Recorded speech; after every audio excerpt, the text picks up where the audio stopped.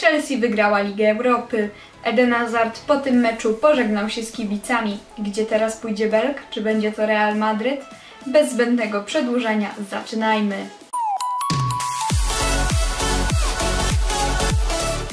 Więc rozpocznijmy właśnie od tego finału Ligi Europy. Chelsea pokonało Arsenal aż 4 do 1. Co ciekawe, wszystkie bramki padły w drugiej połowie, a sam Eden Hazard zdobył aż dwie. I właśnie po tym meczu Belg pożegnał się z kibicami, ale nie był jedynym piłkarzem, który, dla którego ten mecz był końcem pewnej ery, ponieważ Petr Czech zakończył swoją karierę i no niestety w troszeczkę przykry sposób. Eden Hazard nie sprecyzował do jakiego klubu się przeniesie, ale możemy spekulować, że będzie to Real Madryt, ponieważ od ponad roku Belg jest łączony właśnie z tym klubem. A cytat na dzisiaj pochodzi od Rafała Gikiewicza, czyli bramkarza, który przez 24 godziny awansował do Bundesligi i otrzymał powołanie do reprezentacji Polski. 36 spotkań rozegranych od dechy do dechy, 15 meczów zagranych na zero. Zespół przyjął mnie fajnie, kibice traktują jakbym był tu od lat. Miałem kilka ofert z ekstraklasy, drugiej Bundesligi, Japonii, Kazachstanu, ale nie poleciałem na kasę, nie żałuję. Postawiłem na marzenia i czuję olbrzymią satysfakcję. Powtórzę, warto marzyć. Ale właściwie czemu Gikiewicz został powołany do reprezentacji? Okazało się, że niestety Wojciech Szczęsny będzie zmagał się ze swoją kontuzją dłużej niż było to przewidywane. Niestety musiał się poddać zabiegowi artroskopii kolana i przez to nie będzie mógł zagrać w najbliższych meczach reprezentacji. Jerzy Brzęczek w jego miejsce powołał właśnie Rafała Gikiewicza. Jest to jego pierwsze, zdaje się, powołanie do e, seniorskiej reprezentacji Polski, także bardzo mu gratuluję. I oczywiście to, co zrobił, że w 24 godziny awansował do Bundesligi i został powołany do reprezentacji, jest czymś niezwykłym i mam nadzieję, że ten bramkarz zadebiutuje w kadrze już w następnych meczach. A pytanie na dzisiaj brzmi: ile razy z rzędu Real Madryt wygrywał Ligę Mistrzów począwszy od roku 1956? Tutaj macie oczywiście jak zawsze odpowiedzi ABCD. Piszcie w komentarzach i macie teraz chwileczkę na zastanowienie się. Ok, i lecimy z dalszym odcinkiem. I teraz porozmawiajmy o reprezentacji Polski, ale o tej do lat 20, ponieważ na trwających Mistrzostwach Świata nasi kadrowicze wyszli z grupy.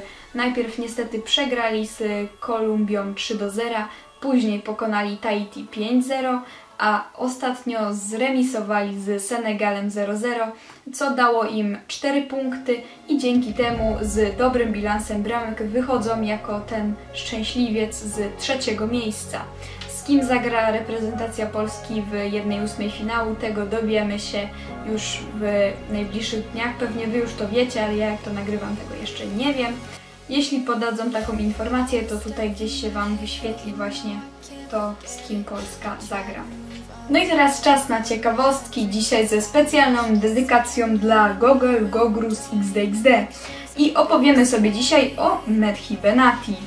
Obecnie Benatia występuje w Al Duhail SC.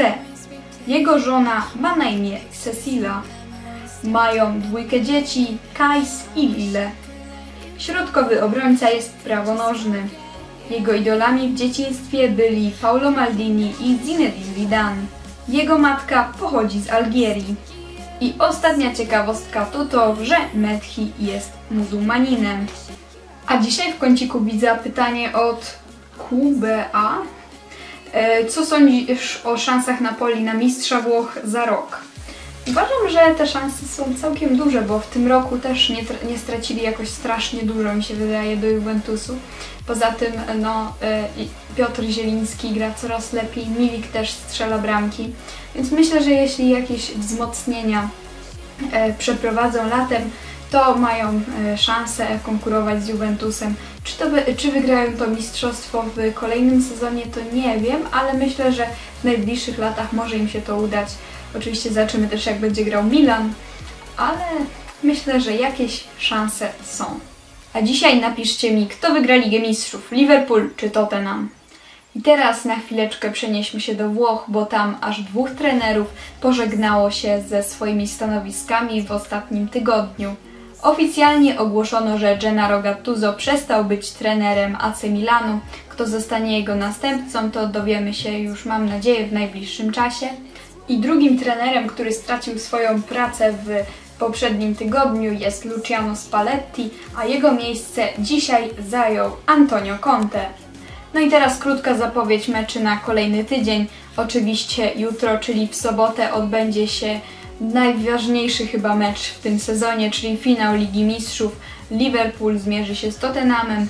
To spotkanie rozpocznie się o godzinie 21. No a w kolejny piątek o godzinie 20.45 zagra seniorska reprezentacja Polski, która zmierzy się na wyjeździe z Macedonią Północną. I to już jest koniec tego odcinka. Pamiętajcie, żeby w komentarzu napisać, kto wygra Ligę Mistrzów. Napiszcie też swój typ na to spotkanie. Mój osobiście to 2-1 dla Liverpoolu. Łapkujcie, komentujcie, subskrybujcie i udostępnijcie ten film znajomym. Kolejny odcinek będzie w następną sobotę lub niedzielę. Cześć i piona!